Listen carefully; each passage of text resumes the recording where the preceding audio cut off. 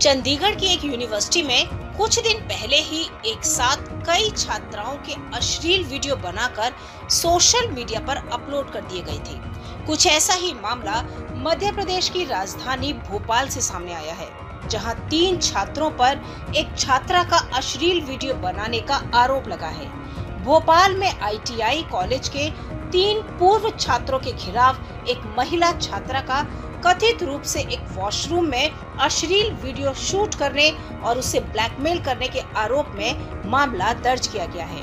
इनमें से दो आरोपियों को हिरासत में ले लिया गया है।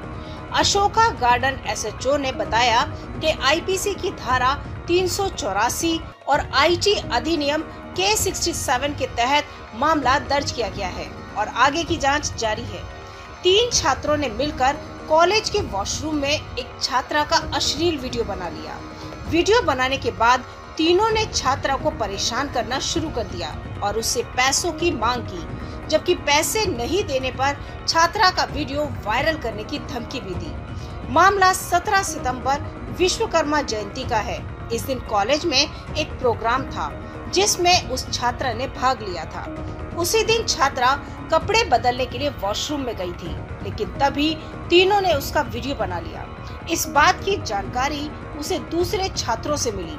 अशोका गार्डन पुलिस ने मामला दर्ज कर बताया कि यह कारनामा कॉलेज के पूर्व छात्र राहुल यादव, खुशबू ठाकुर और अयान का है। तमाम बड़ी खबरों के लिए बने रहिए किन्नी टाइम्स के साथ। वीडियो को लाइक करें, चैनल को सब्सक्राइब करना ना भूलें।